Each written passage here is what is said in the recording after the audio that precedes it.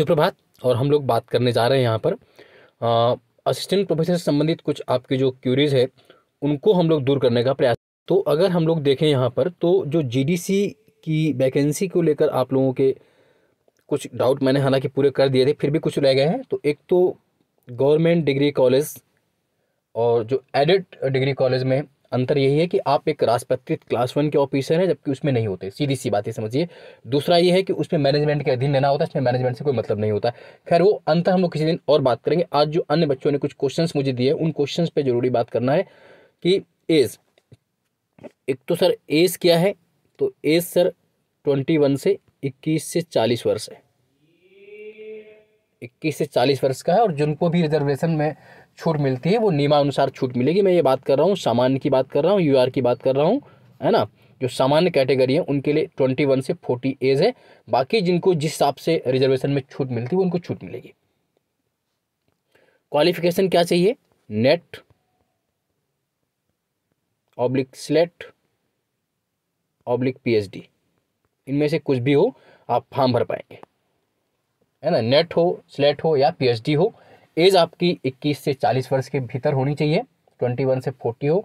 आपने पीजी किया हो पीजी जिस विषय से आपका पीजी हो, उसी विषय से आपका NET SLET oblique PhD SLET हालाँकि क्योंकि बहुत दिन से बंद है तो अगर पहले का किया हुआ तो मान लें नेट हो स्लेट हो पीएचडी हो, या जेआरएफ हो मतलब जेआरएफ है तो फिर नेट तो ही वो ऑलरेडी है ना?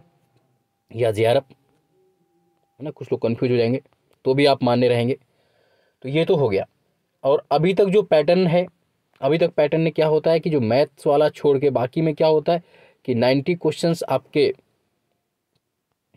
सब्जेक्ट के आ जाते हैं और थर्टी आपके जीएस के आ जाते हैं। है ना? यही तो होता है। अभी तक। अभी क्या बदलाव होगा? इस बार बात की बात ये सबका है। सिर्फ़ मैथ के लिए सत्तर और तीस है। जो मैथमेटिक्स के स्टूडेंट हैं, उनके सब्जेक्ट में सत्तर आते हैं, बाकी तीस। तो अभी अन्य सब्जेक्ट के हिसाब से आपका नाइन्टी और थर्टी का रेशियो है।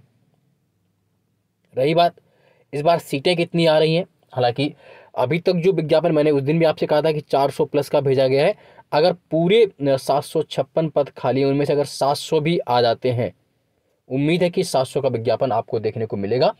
तो जो सब्जेक्ट वाइज लिस्ट बन रही है, एक दो दिन में मैं पूरे सब्जेक्ट चूँकि अभी अपडेट हो रहा है डाटा भेजा जाता है हम लोगों के यहाँ से भी ट्वेंटी वन सब्जेक्ट का डाटा भेजा जा रहा है। कौन कौन सब्जेक्ट उसमें शामिल नहीं है कौन कौन शामिल होंगे उन सबको और लगभग ये भी मैं बता दूँगा कि कहाँ कहाँ सीटें खाली हो रही हैं इसकी भी जानकारी आपको दी जाएगी। जैसे अब मैं अपने कॉलेज की बात करूँ तो आ, मेरे कॉलेज में जैसे फरुखाबाद है तो यहाँ पर अगर हम देखें तो कॉमर्स के दो पद खाली है है ना? कॉमर्स के हो गए। उसके बाद बॉटनी का संस्कृत का है ना? ऐसे ही हर कॉलेज में पद खाली है। वो एक दो दिन में मैं पूरी उसकी लिस्ट को भी अपडेट कर दूँगा। अभी आज की मेन मोटो ये था बताने का कि जो एज को लेकर क्वालिफिकेशन को लेकर थे आप और क्या, और रही बात ये, अपने सब्जेक्ट को आप मेहनत अभी से करने लगे। मैंने एक दिन कहा था कि एन e थोड़ी पढ़ी है। एन e तो कुछ लोगों ने कहा था जीएस के लिए क्या एन जीएस e के लिए आपको एन नहीं पढ़नी है। एन आपको अपने सब्जेक्ट के लिए पढ़नी है। इतना तो समझदार होना चाहिए भाई प्रोफेसर बनने जा रहे हैं आप। जैसे हिस्ट्री वाले हैं तो नाइन टेंथ एलेवन ट्वेल्थ के एन पढ़ लें। अगर जोग्राफी वाले हैं तो एन पढ़ लें। साइंस वाले हैं तो एन पढ़ लें।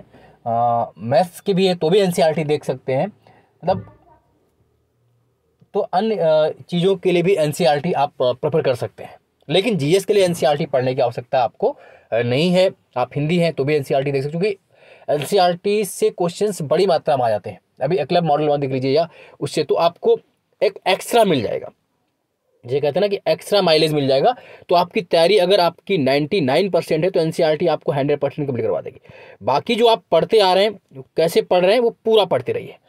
कल मैं एक वीडियो अलग से बनाऊँगा आपको कि हिस्ट्री फिर एक दिन जोग्राफी वाले जो हमारे प्रोफेसर उनसे बात कर लेंगे अलग अलग लोगों से कि आप हिस्ट्री पे कैसे फोकस करें।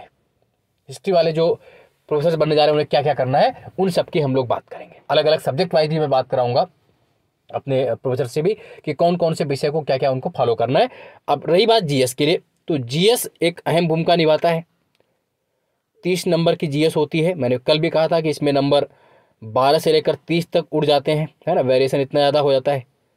तो इस वेरिएशन को कम करने के लिए आप अपने स्तर से मेहनत तो कर ही रहे हैं, ब्रह्मास्त्र सीरीज़ देखिए कमिटी जल्द ही मैं एक दो दिन, दो दो चार दिन में एक जीडीसी के लिए जीएस ओरिएंटेड बैच स्टार्ट करूँगा, उसकी जानकारी आपको जल्द दे दी जाएगी तो उसमें आप मेहनत करेंगे तो निश्चित रूप से आप उस मेहनत में सफल होंगे और आपके मार्क्स ये दावा है मेरा कि आप 25 प्लस सही करने की स्थिति में होंगे। इस बैच को हम लोग जल्द ही ब्रह्मास्त्र बैच के नाम से शुरू करने जा रहे हैं।